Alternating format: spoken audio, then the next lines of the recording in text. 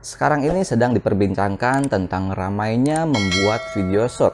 Gimana tidak ramai ya? Karena nantinya semua YouTuber itu akan bisa mendapatkan penghasilan dari video shot yang kurang dari durasinya itu kurang dari satu menit bahkan 10 detik saja itu nantinya itu kalian akan bisa mendapatkan penghasilan dari YouTube tapi ada syaratnya yaitu adalah harus mendapatkan 10 juta penonton ataupun view selama tiga bulan terakhir. Dan nanti di awal tahun 2023 nanti kalian bisa pengajuan monetisasi.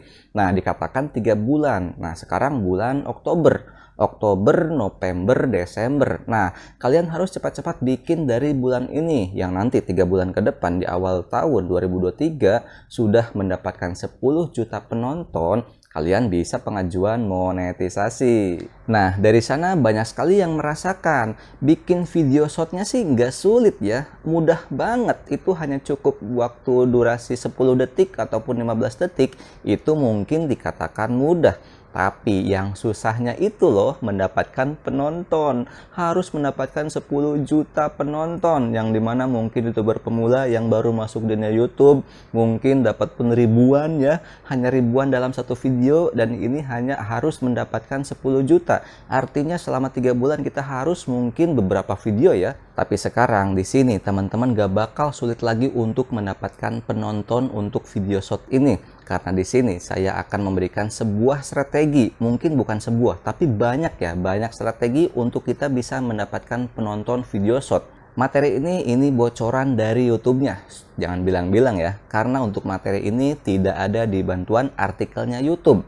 Tapi materi ini ini adalah hasil dari komunitas video shot yang saya coba ATM dan saya coba sharing kepada teman-teman.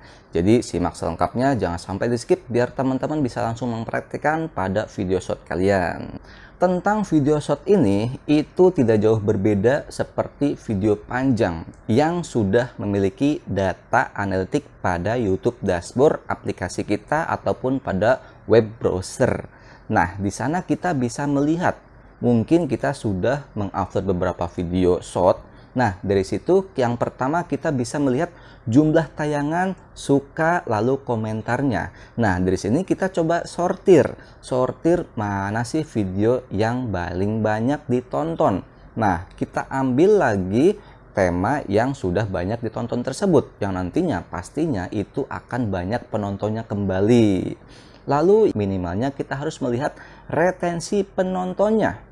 Ingat ya, ini retensi penonton itu adalah sangat penting yang menentukan video kita itu akan direkomendasikan atau tidak. Teman-teman bisa melihat di YouTube dashboard analitik tersebut ya tentang video shot.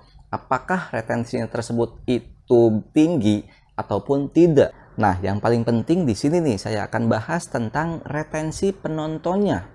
Karena kalau retensi penonton itu sudah tinggi, nah nantinya itu tadi yang dikatakan akan menentukan video kita itu masuk ke tab-tab shot terus ya, yang nantinya akan masuk berbarengan dengan video yang lainnya dan banyak ditonton. Yang pertama, tarik perhatian penonton di awal durasi pertama bukan artinya kita menarik paksa penonton gitu ya. Tapi kita harus memberikan sebuah perhatian kepada penonton di awal durasi video shot kita yaitu di durasi 0 sampai ke 3 ataupun ke 5 detik pertama.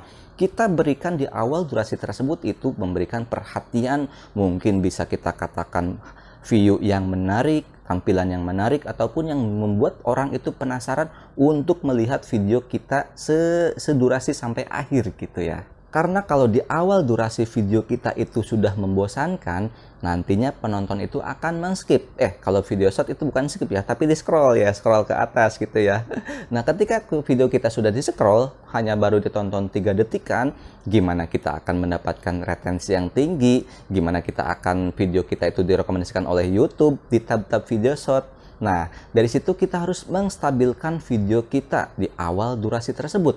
Bukan hanya di awal durasi tersebut, tetapi sampai akhirnya kalau kita bikin 15 detik ataupun 60 detik, nah kita bikin stabil video itu, bikin orang itu betah pada video kita.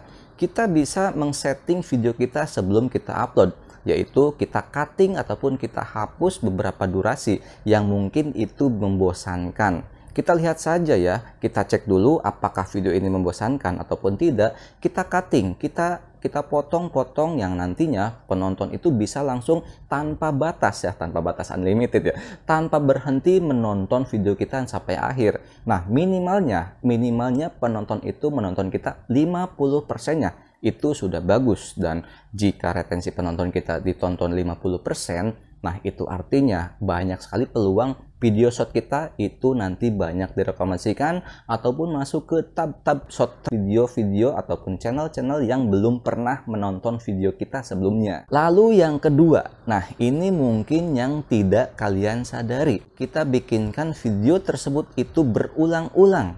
Mungkin teman-teman pernah melihat video yang ketika ditonton kok nggak ada ujung-ujungnya gitu kan, muter aja terus, muter aja terus. Nah, itu sangat-sangat sekali membuat retensi penonton kalian itu akan tinggi.